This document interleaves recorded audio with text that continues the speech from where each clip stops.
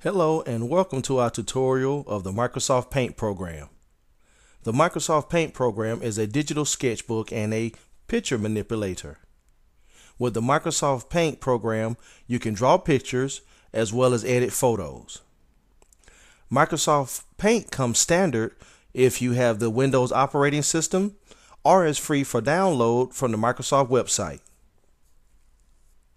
If you have the Windows operating system, to find Microsoft Paint, start at the Start menu. As the menu drops down, go to All Programs. You want to scroll down until you get to the Accessory folder. Click that. As the folder opens up, you'll see the Microsoft Paint program. As you click on it, it opens up and this is what it looks like. To show you the features of Microsoft Paint, I'm going to design a company logo. We're going to start by selecting one of the shapes, an oval. We're going to use the cursor to expand it to the size we want. We're going to click on the size feature right here and we're going to increase the size of our line. We're going to use one of the larger lines right here. Next, what we're going to do is we're going to select the color. We have red, we have indigo, and we have green, and we're going to select green. As you notice in color one, that's the color we're going to select and I want to bring in a quick point right here before we move on.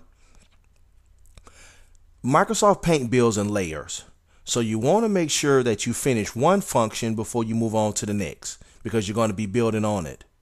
So now that we have our green color selected for our line, we're going to fill in the blank space inside our oval.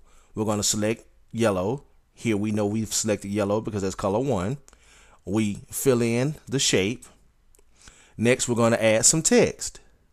So we click on the A in the box.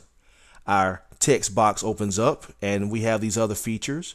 We're going to select a larger font. 72 is what's offered, so we're going to select 72. We want our lettering to be the same color as our border, so we're going to select green. We're going to type in the word lawn care. And it's not large enough, so we're going to center it and we're going to change our font to 90. We're going to just type that in and we're going to get everything centered. Now we're going to embolden the text, give it a better look. Okay.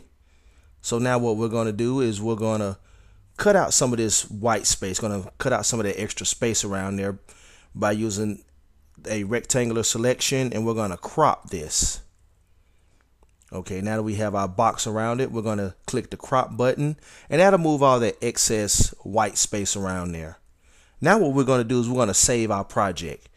As we click down, we go to the save as. Now you have several different file types that you can save as. You have the PNG, which is portable network graphics. This is supposed to be the highest quality. The JPEG is next. This is pretty much the standard. And you have the BMP, which is a lower quality, uh, pretty much good for like, you know, quick little icons and you have the GIF picture, which is pretty much one of the lowest qualities. And they have other formats, and pretty much what we're going to use is just a JPEG. That's standard. Okay, the save menu pops up. We want to change the name to Lawn Care Logo. We're going to save that. And if you notice at the top of the project, it now shows the save name. And we're going to try one more feature uh, we'll want to fill in all this white space right here. And we're going to use the fill feature. We're going to use black.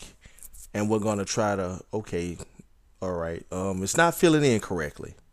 And this is what I was speaking about earlier that Microsoft Paint builds in layers. But it gives me a great opportunity to show you the back button or the undo button.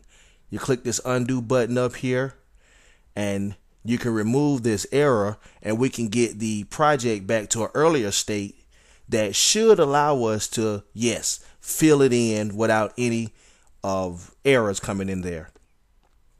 Okay, we finished with our project. You see, we've made our company logo. And now what we're going to do is show you how to close out the program. We're going to hit our old school floppy disk up here to save the program one last time. You want to go ahead and click this menu right here. Either hit exit or hit this exit button at the top of the page. In summary, we've learned some of the general features of Microsoft Paint of how to design a shape, how to resize that shape, how to change the color, the feel, the text, how to save, how to undo an error, and how to crop. That's the end of our tutorial. There'll be more to come. Thanks.